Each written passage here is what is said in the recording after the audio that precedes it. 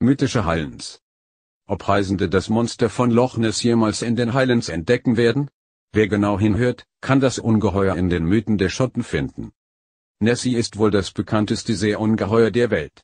Es soll im Loch Ness in Schottland hausen und sorgt immer wieder für Schlagzeilen, wenn Forscher versuchen, das Rätsel um seine Existenz zu lösen. Neben der ersten Sichtung im Jahr 565, gab es weitere Erwähnungen im 16. und 17. Jahrhundert und auch noch danach. Wissenschaftler vermuten, dass riesige Wälse im Loch für den Monstermythos verantwortlich sein könnten. Ein Wels kann bis zu 4 Meter lang, mehr als 400 Kilogramm schwer und gut 30 Jahre alt werden. Touristen, die den Sagen rund um das Seeungeheuer Nessie nachspielen wollen, sind eine wichtige Einnahmequelle der Region. Das Zentrum des Monstertourismus ist das Dorf Drumnadroit. Ob Nessie lebt, wird wohl auch in Zukunft umstritten bleiben. Zumindest in den Mythen und Herzen der Schotten hat das schaurige Ungeheuer seinen Platz sicher. Loch Ness ist ein von Gletschern geschaffener Süßwassersee im schottischen Hochland.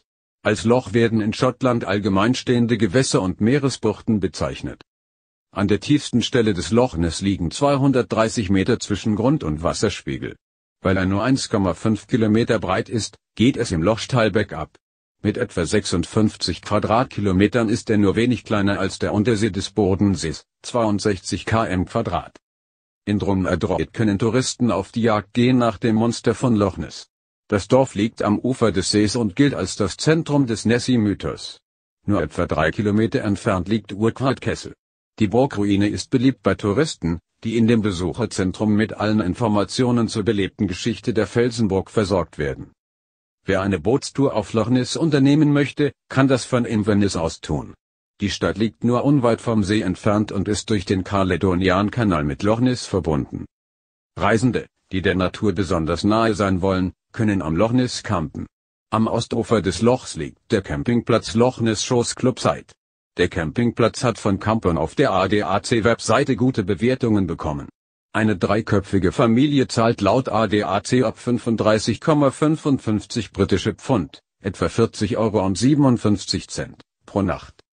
Wer es komfortabel mag, kann sich direkt am See in Miethütten, sogenannten Armadilla-Unterkünften, entspannen. Bei Loch Ness Camping kostet das ab 60 Pfund, etwa 68 Euro und 47 Cent, pro Nacht für zwei Personen. Die Legenden rund um das Monster von Loch Ness haben sich auch in der Popkultur niedergeschlagen. Zahlreiche Filme beschäftigen sich mit den Highlands und dem Ungeheuer aus dem See. Auch die Fernsehserie Loch Ness spielt in der mythischen Umgebung. Darin wird für Annie die Suche nach einem Serienmörder zu einem Spiel auf Leben und Tod. Im Comic Asterix bei den Pikten hat Nessie einen Auftritt als liebenswürdiges Seeungeheuer, das den beiden Helden Asterix und Obelix hilft, ihr Abenteuer zu bestehen. Auch wenn es manchmal merkwürdige Dinge portiert. In verschiedenen Ländern fasziniert das Seeungeheuer die Menschen. So tragen zahlreiche Pubs und Gaststätten den Namen Loch Ness. Liebe Leserinnen und Leser, aktuell steht Ihnen leider keine Kommentarfunktion zur Verfügung.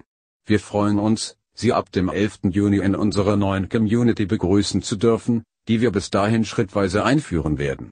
Wir wollen den Kontakt zu Ihnen vertiefen. Die Redaktion wird im Kommentarbereich aktiver sein, so dass Sie auch mit Redakteuren diskutieren können. Außerdem warten auf Sie viele Verbesserungen und neue Funktionen. Antworten auf Ihre Fragen und einen Überblick über die neuen Funktionen erhalten Sie hier. Leider ist es nicht möglich, alte Accounts und Kommentare zu übernehmen. Auch in der Zwischenzeit können Sie gerne auf Facebook und Twitter zu unseren Artikeln diskutieren. Ihr Community Team. E, I, J, P